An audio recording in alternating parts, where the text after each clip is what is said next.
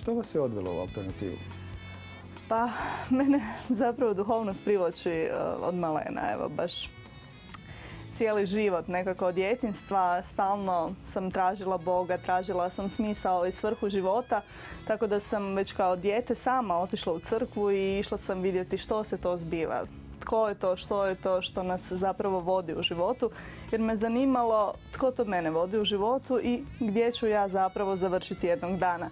I kako je vrijeme prolazilo, ja sam se više i više proučavala, e, tako me prvo susreo u Sui Reiki sustav gdje sam vidjela da je to jedna prekrasna energija koja je identična onoj koju sam je osjetila kad sam molila za ljude koji su bili u potrebi i kad sam polagala ruke na njih.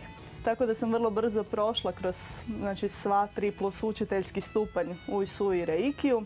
A nakon toga se nekako isto čudesno otvorio je svijeta rota, evo koji ja jako volim i volim ljudima pomagati na taj način.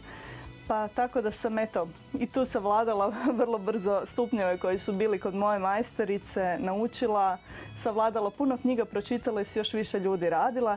Tako da je to postalo isto moje sredstvo s kojima mogu ljudima pomoći. Naravno, da meni to sve skupa nije pomoglo, ne bi nudila i drugim ljudima.